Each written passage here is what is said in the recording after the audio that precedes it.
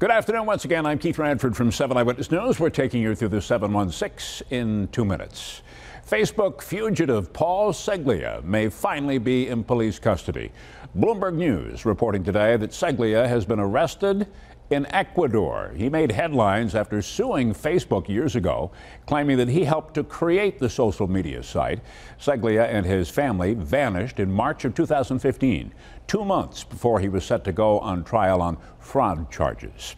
Erie County Executive Mark Poloncarz is now calling on the New York State Department of Health to immediately put Emerald South Nursing Home in Buffalo into receivership, and they want it managed by another group of owners. Now, this comes after a string of incidents at the nursing home. The State Department of Health is currently investigating multiple incidents there. The most recent involves allegations that a former administrator had molested a patient with Alzheimer's. More than 200 butterflies will be released from the Clarence Hollow Farmers Market this weekend.